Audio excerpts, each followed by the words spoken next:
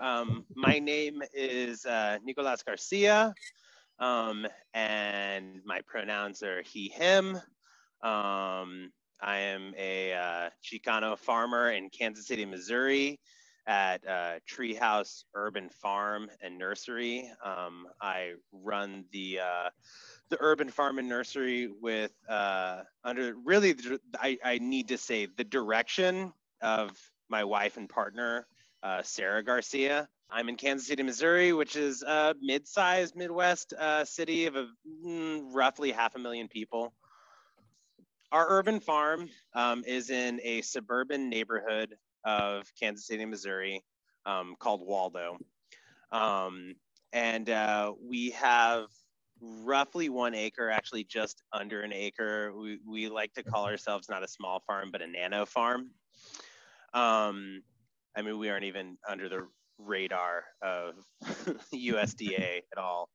So some perennial um, berry bushes, uh, strawberries, blackberries, raspberries, gooseberries, um, and annuals uh, that are chiles primarily, um, and we use those for making uh, uh, what is it? Uh, uh, added value products um, like preservation rubs and hot sauces. Um, and then herbs uh, for purposes of seasoning, um, but also medicine and also sacred herbs um, for ceremony. another facet of our farm is that we are a um, nursery so that we can get other people growing.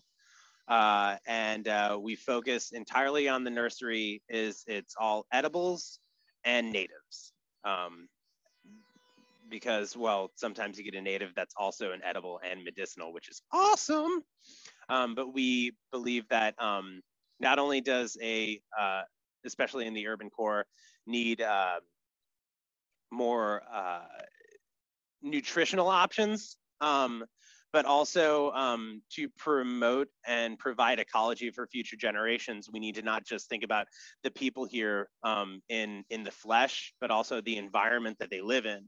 And having a robust uh, urban ecology, um, we believe is foundational to a sustainable future. How did you access land? What were some challenges you faced? It, it took a good year of us looking for land access. Um, this particular spot, um, after looking all around town, um, uh,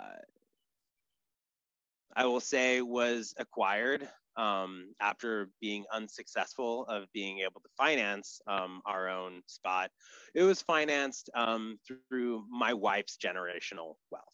Granted there are people who are able to go and get these bank loans or, or loans and that's great. We were not able to. Um, at the time honestly I, i've only just recently become more aware of these usda and fda loans um, which is great but at the time we you know urban agriculture was kind of a newer thing to us and and uh, like a new concept. And it's only recently the, that the fda is even like looking at us.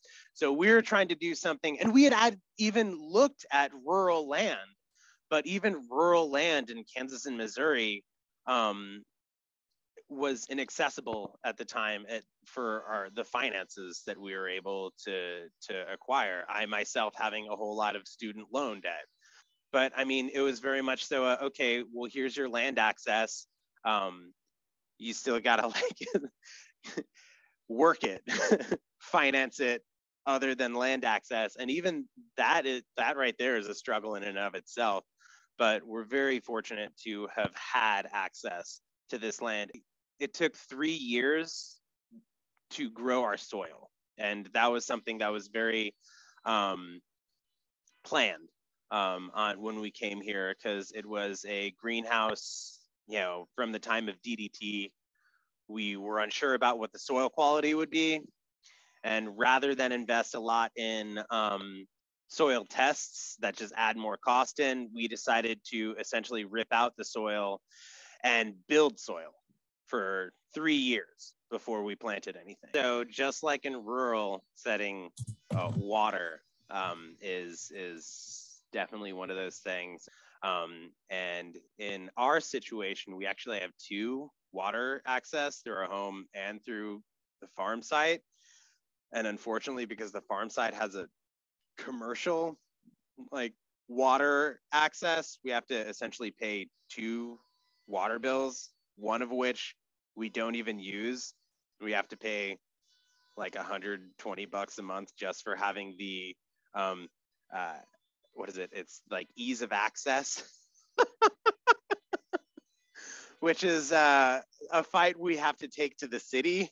Um, we're planning on doing this year because it's like thousands of dollars over the last several years that we're paying for something we don't even use. Um, I would hope that with future Farm Bill legislation, we would have a means put in for water access in rural and in urban markets. How secure does your access to land feel? The, the land is already paid off, um, which is amazing. Um, and as long as we're able to make taxes on it each year, then, you know, which is a couple thousand dollars, um, we'll be able to keep it. Uh, now, Kansas City is going through some, like all cities in the Midwest, are going through some weird growing pains, whereas property taxes have gone up eh, about 20% this last year. And before that, it was about 7%. And, you know, it like, is it going to reach um, this, you know, critical mass that we won't be able to hold on to that? Um, if projections keep up, um, maybe not. Maybe I'm not so secure. Um, so yeah, the property taxes need to to be kept in a living, you know, uh, uh, rate. Um, but again, this is my dream, and hopefully, I can like live it out by keeping access uh, here.